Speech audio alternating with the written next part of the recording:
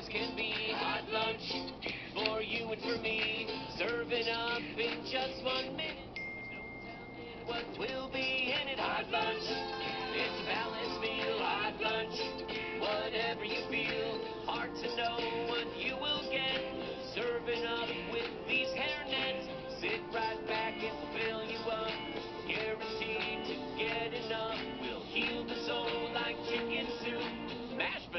with an ice cream scoop?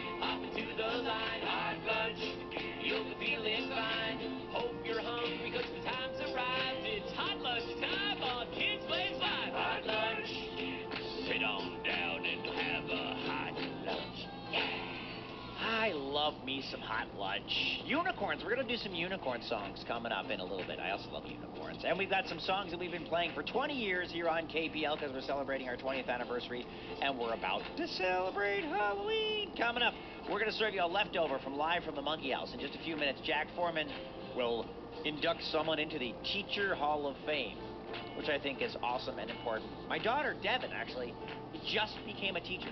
Yes, I have younger kids, but I also have older kids, and my daughter, Devin, is now a second grade teacher, and she's awesome. So, yes, I love that. So, Teacher Hall of Fame, I fully and wholeheartedly endorse and support that. I'm also totally behind this Halloween thing. Halloween is on a Sunday this year, so our pumpkin jam is going to be extra pumpkin spicy.